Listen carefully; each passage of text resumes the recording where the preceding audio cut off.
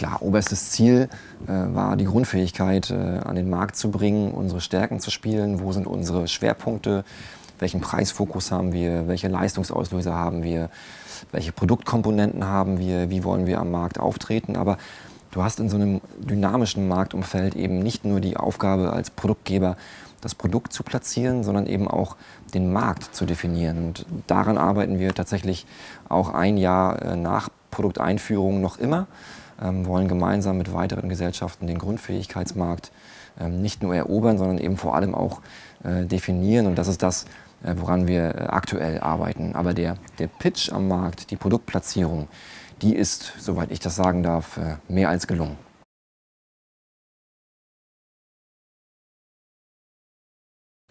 Also ich habe jetzt selber, äh, glaube ich, vielleicht 6, 7, 800 Makler auf Roadshows, auf Messen, Vorträgen, individuellen Schulungen äh, gesehen, erlebt. Und du bekommst im Grunde immer dieselben mh, Nachfragen oder Themen, die den Makler wirklich interessieren. Das ist immer das Thema Haftung. Also bin ich dann überhaupt rechtlich, haftungstechnisch sauber, wenn ich dem Kunden eine Grundfähigkeit anbiete? und von der BU wegrücke. Mm, das zweite Thema, wann leistet so eine Grundfähigkeit eigentlich? Und das dritte, wie kann man sie eigentlich ähm, differenzieren von der Berufsunfähigkeit oder einer Erwerbsunfähigkeitsrente? Wo stehen diese Produkte im Markt? Und das ist etwas, woran wir ebenfalls ähm, äh, weiterarbeiten wollen. Das ist also viel der Bereich Aufklärung. Ähm, und ich muss aber auch sagen, ich bin nach wie vor enorm positiv überrascht, zum einen, welche Welle dieses Produkt insgesamt macht und, und damit eben auch der Markt.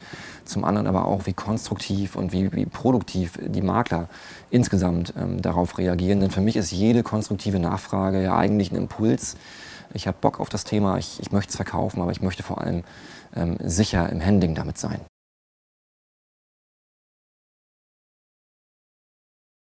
Ist noch so ein bisschen ähm, der, der Detailblick äh, doch erforderlich. Das ist anders als im Bereich der Berufsunfähigkeit beispielsweise. Äh, und hier müssen wir weiter in der Kommunikation sein und äh, versuchen aufzuklären, was ist eigentlich das Wesentliche bei einer Grundfähigkeit, worum geht es und was ist vielleicht auch so ein bisschen Marketing ähm, gesteuert. Ich finde, Marketing ist immer fair und gehört dazu, aber mein Ansatz, unser Ansatz ist, uns aufs Wesentliche einer Grundfähigkeit zu konzentrieren und das sind vor allem die richtigen und dann auch die sauber definierten Leistungsauslöser. Ähm, genau darum geht es. Und das zweite Learning ist, dass der Markt äh, enorm dynamisch ist. Also ich glaube, ähm, der Grundfähigkeitsmarkt 2017 unterscheidet sich von dem 2019 eklatant und wird sich auch in 2021 ähm, weiterentwickeln. Und das ist für mich eigentlich Grund genug, auch als Makler das Thema zu bedienen, weil die Gesellschaften sich derzeit im Moment ähm, ganz, ganz stark bewegen, um insgesamt mal einen Rahmen zu bauen äh, im Bereich der Premium-Tarife. Und das ist das dritte Learning, ähm, auch ein ganz zentrales Element äh, unserer Schulungen, dass sich Premium-Tarife im Grundfähigkeitsmarkt durchsetzen. Da musst du als Player mitspielen. Das ist auch klar, der Makler bedient die Grundfähigkeit in der Regel immer noch dann, wenn die Berufsunfähigkeit nicht funktioniert. Und das heißt eben, ich nehme in der Grundfähigkeit kein Basis- oder kein Plusschutz, ich nehme die Premium-Variante. Ähm, das ist ein ganz großer Unterschied, beispielsweise auch zu unserer Ausschließlichkeit. Ähm, diese drei Bereiche, die haben wir gelernt, die haben wir erkannt äh, und da werden wir auch weiterhin ähm, dran arbeiten. Nochmal, der Markt atmet und auch wir bleiben hier nicht stehen.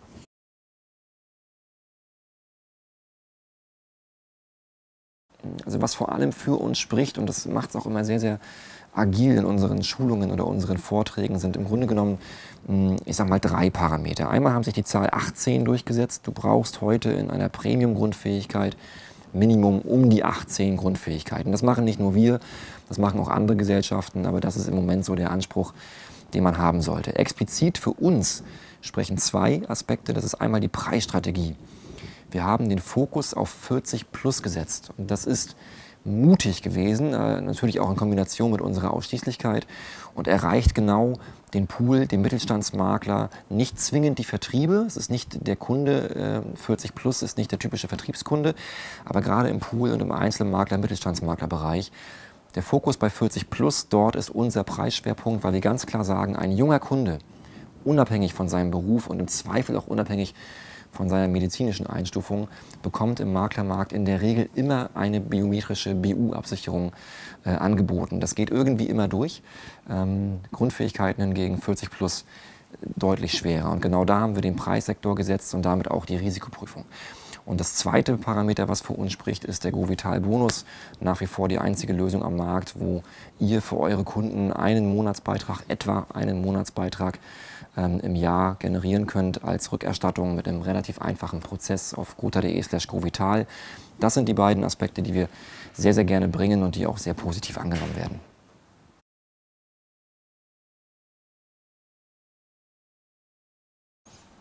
Ja, also Ziele fürs kommende Jahr, ähm, Produktionsjahr würde ich es mal nennen. Wir sind ja mittendrin im Endspurt 2019 und solange das noch nicht abgearbeitet ist, ähm, ist 2020 auch noch nicht wirklich nah genug.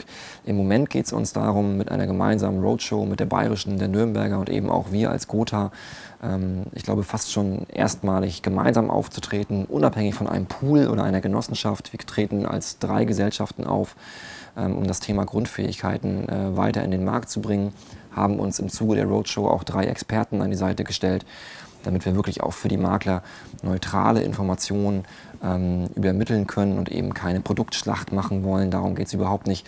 Und das ist jetzt im Moment der nächste Fokus, den wir im Oktober diesen Jahres dann ähm, bespielen werden. Also ihr merkt, es geht immer darum, den Markt weiterhin zu definieren und äh, auf diesem Zug weiterhin drauf zu bleiben. Und ich kann im Grunde genommen auch jetzt aus dem letzten Jahr heraus sagen ähm, und auch allen Gesellschaften gratulieren, die auf diesem Grundfähigkeitszug aufgesprungen sind. Es ist für uns der am stärksten wachsende Markt im Bereich der Lebensversicherung und äh, wir wissen eben auch, dass das im Pool und teilweise auch in, dem, in den Vertrieben genauso gesehen wird. Ähm, und ich freue mich über jeden weiteren äh, Vertriebspartner, der mit uns auf diesen Zug aufspringt und dann gemeinsam mit uns im Grundfähigkeitsmarkt 2019 fortfolgende ähm, konstant erfolgreich sein wird.